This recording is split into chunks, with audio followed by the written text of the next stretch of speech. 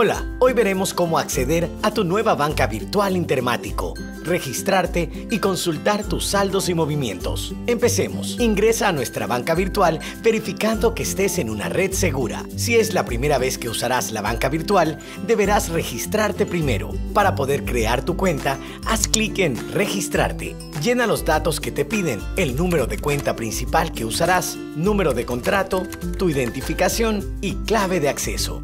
Una vez hecho eso, elige o escribe tu nuevo usuario, lee las condiciones y continúa. Ahora, elige una imagen de verificación y su texto. Cuando estés listo, continúa. Continúa eligiendo tus preguntas de seguridad. Eso garantizará que nadie pueda acceder a tu cuenta, solo tú. Selecciona las preguntas y escribe tus respuestas. Vamos al último paso.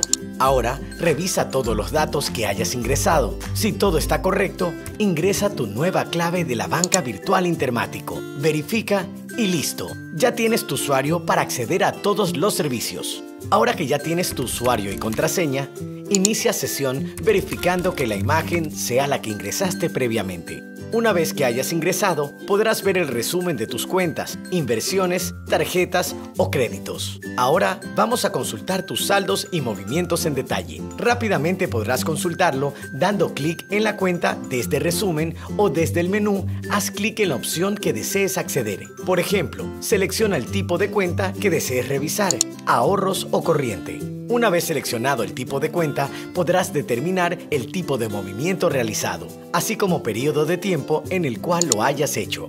Y puedes enviar a tu correo los resultados en el tipo de archivo que prefieras. De este modo, puedes hacer todas las consultas que necesites, cuantas veces quieras. Banco del Pacífico, un banco banco para todos.